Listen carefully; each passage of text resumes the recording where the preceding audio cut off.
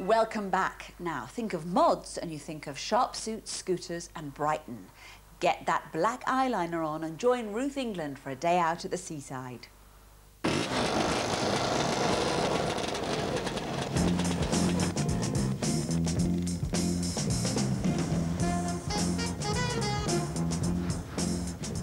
Mod, short for modernism, was the fashion movement of the 60s. And while it's no longer mainstream or the focus of media attention, it's still around today, 40 years after it first began. Mary and David Nimmo are mods. They weren't mods in the 1960s, but they might as well have been. Their attention to detail is precise. So tell me a little bit about the history of it, where it started in the 60s. Uh, Soho in 63, some people say, but I mean, you could go back to the late 50s, really early 60s. Yeah. You know, just people wearing sharp Italian suits and getting into jazz music and early black American R&B.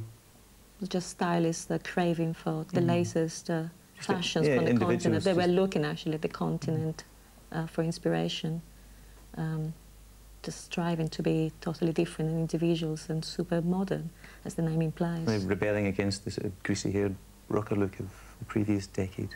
I mean, mod girls tend to be quite androgynous.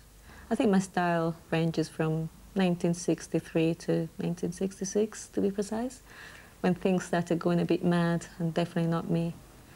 So is the mod scene intrinsically linked to the 60s? Well, we, we look at the 60s for inspiration. Obviously, modernist today has a different concept than we had then.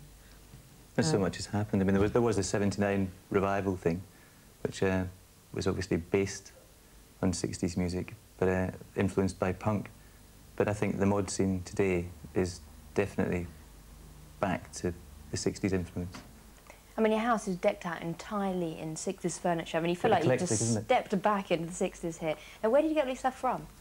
Skips, I wish. uh, charity shops, jumble sales, book markets. You develop an eye for things as well, and I think both Mm. of us can probably spot a bit of 60s furniture or a bit of 60s cloth hanging up in a rack of clothes from 100 yards.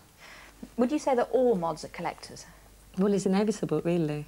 I mean, un understandably, if you're looking at the past for inspiration, you tend to try to gather all the elements that existed then.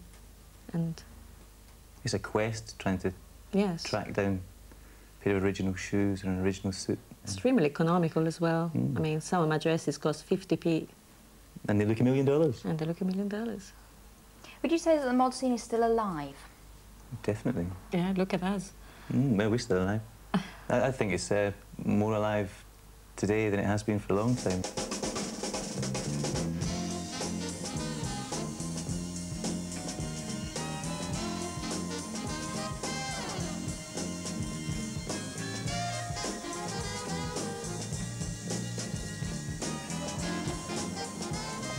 So tell me about Parkas. Parkas. I mean, I've still got my parka in my mum's loft back in Scotland, the original one. But uh, I mean, personally, I wouldn't be seen dead in a parka these days. I'm too old. Uh, it has become a It's an icon mod now. icon, but- but uh, people don't, don't wear it. Do you think you'll always be mods? I remember saying to my mum when I was 14, she said, she said, oh, you'll grow out of this. And I said, no, I won't. I'll always be a mod. And here I am today. They both have that 1960s Thunderbirds look, don't they? Now, remember the Smurfs? Remember the number one hit? Did you love them or hate them? Billy Long loved them then and he loves them still. Welcome, Billy. When did the